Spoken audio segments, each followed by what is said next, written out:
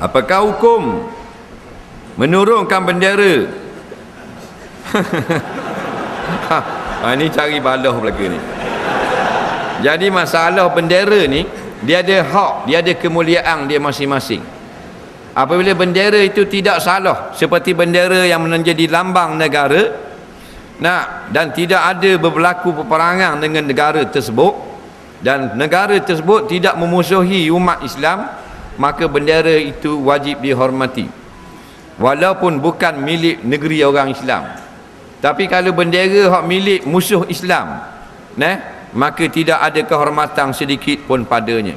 Berbalik kepada bendera kita sendiri umpamanya bendera Malaysia nah maka tetap wajib kita kena hormat kerana dia adalah lambang negara. Yang jahat bukan bendera orang lain. Neh, ha, jadi apa kita pergi marah ke bendera tu nah, ha, jadi masalahnya ulama Islam dia larang juga.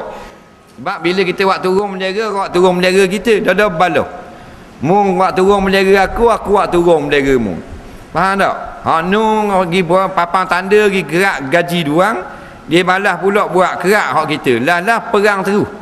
Kihnya buang bendera. Jadi biar cerdik sikit. Nah ah masalah kalau bendera tu syiar yang haram maka dapat pahala siapa yang buang tapi kalau pahala tu eh kalau bendera tu benda menjadi lambang negara walaupun ada pemimpin negara yang tidak mengikut syariat tapi bukan buang bendera buang pemimpin tu. Jangan buang bendera. Ha. macam kita nak marah ketua imam semayang subuh tiga rakaat kita pergi buang atap masjid.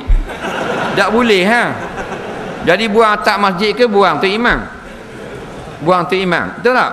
Ha, jangan awak tiga tu imam subuh. Ha.